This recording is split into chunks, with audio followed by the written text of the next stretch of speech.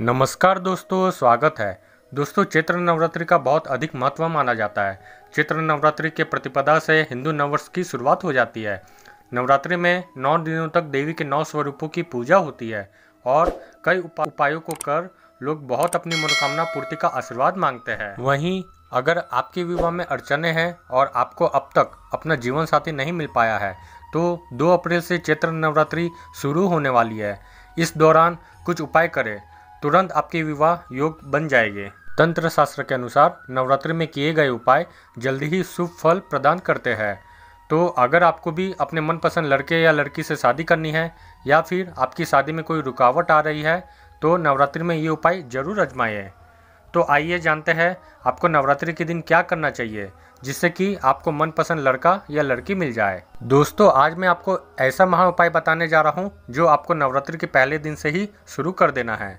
दोस्तों, आपकी जितनी भी उम्र है, बीस हो या चौबीस हो, या फिर बत्तीस हो, जो भी हो, उतने ही आपको अपने उम्र के बराबर लौंग के जोड़े ले लेने हैं।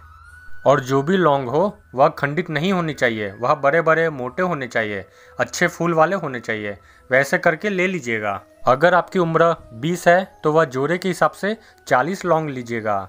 और अगर आपकी उम्र 30 है तो जोड़े के हिसाब से आप 60 लौंग ले लीजिएगा। फिर आपको लाल कलावे से उस लौंग की माला बना लेनी है। सभी लौंग को कलावा से जोड़ जोड़ कर एक माला बना लेनी है। अगर आपसे माला नहीं बन पा रही है तो नया कॉटन का लाल कपड़े में या फिर पीले कपड़े में अपने आयु के हिसाब से उस लौंग के जोड़े को बाँध लीजिए। नवरात्रि का पहला दिन जब शुरू होगा, उस दिन नहा धोकर आप लाल कपड़ा पहन लीजिए। अब माता के सामने पूजा के लिए बैठ जाइए। फिर आपसे जो भी कुछ बनता है, आप माता रानी को वो अर्पित कर सकते हैं। जैसे श्रृंगार का सामान चढ़ा दीजिए, कुमकुम चढ़ा दीजिए, गुलाब के फूल चढ़ा दीजिए, मोगरा के फूल चढ़ा दीजिए, सिक्का चढ़ा दीजिए, सुगंधित इत्र चढ़ा दीजिए। फिर अपने आयु के हिसाब से जो लौंग का माला बनाई है, उसे प्रेम से अपनी मनोकामना रखते हुए माता को चढ़ा दीजिए।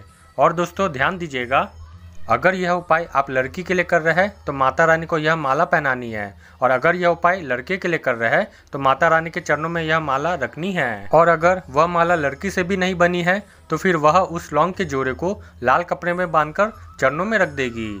और अगर लड़का से नहीं बना है तो फिर वह उस लौंग के जोड़े को पीले कपड़े में बांधकर चरणों में रख देंगे।